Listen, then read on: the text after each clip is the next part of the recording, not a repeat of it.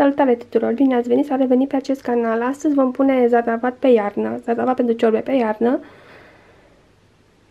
Și vreau să vă arăt uh, cum procedez eu. Haideți să vă arăt cum procedez eu, cum le pun eu pe iarnă.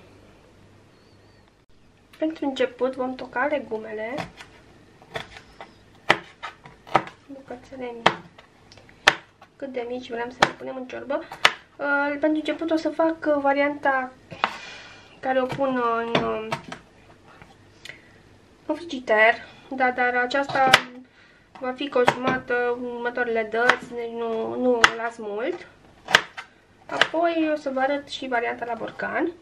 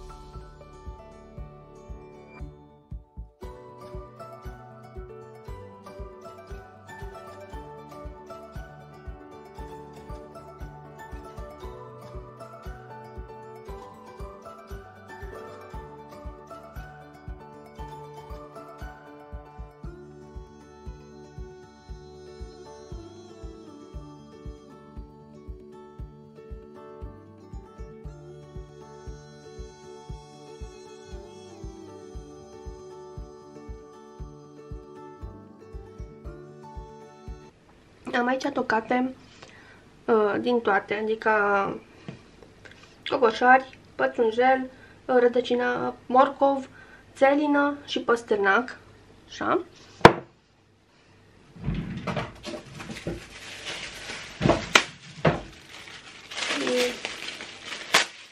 le voi pune în uh, pungi. Le-am amestecat bine pe toate, le punem în pungi.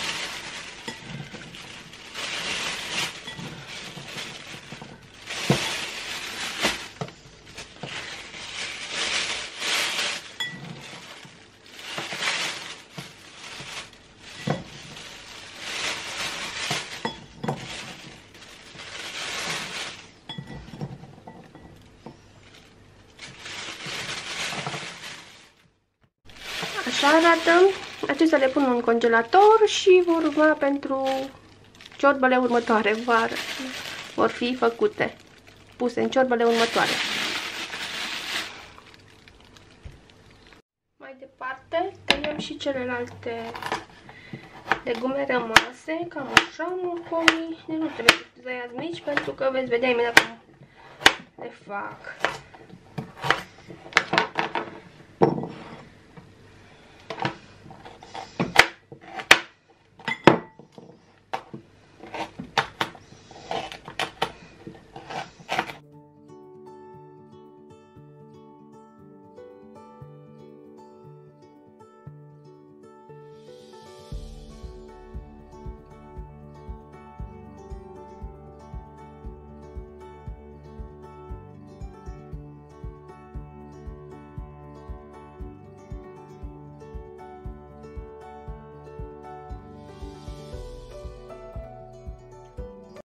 După ce le-am tocat, le punem în mărunțitor. Mărunțitorul pentru mine e sfânt, fac de toate cu el.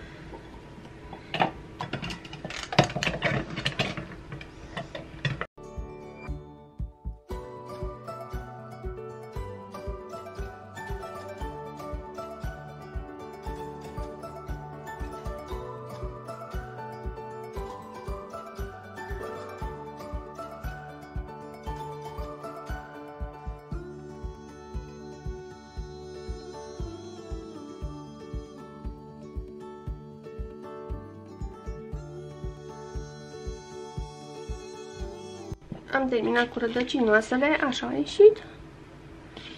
Continuăm și cu gogoșarii. Procedăm la fel.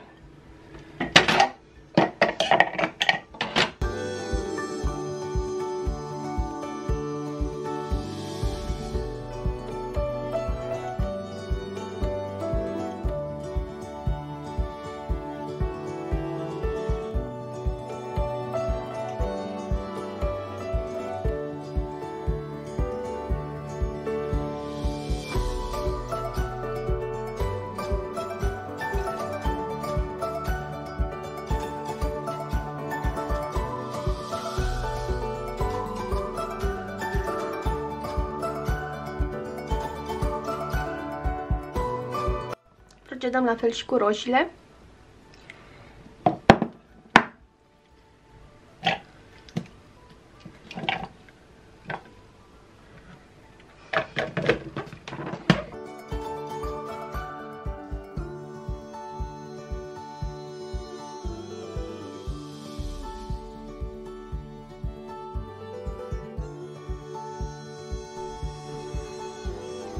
punem și sare.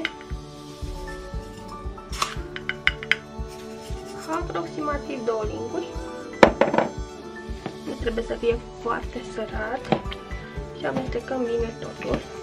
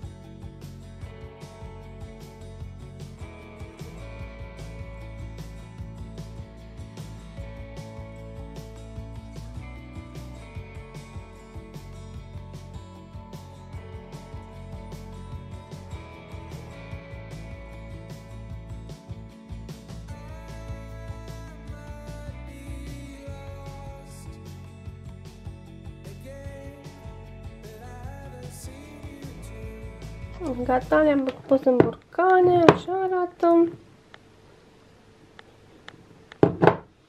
Pus două și mai am acolo de pus, dar uh, nu mai am burcane că am mai pus, am mai făcut și o pastă și nu mai am sterile, sterile dar uh, am acum să pun la cuptor să le fac. Apoi pun și restul. Și arată, se păstrează foarte bine. Ce ai mă? Bine, trebuie puse cu așa și lăsate peste noapte. Bine, dragilor, vă pup și mulțumesc că ați urmărit și acest clip. Până data viitoare, pa, pa!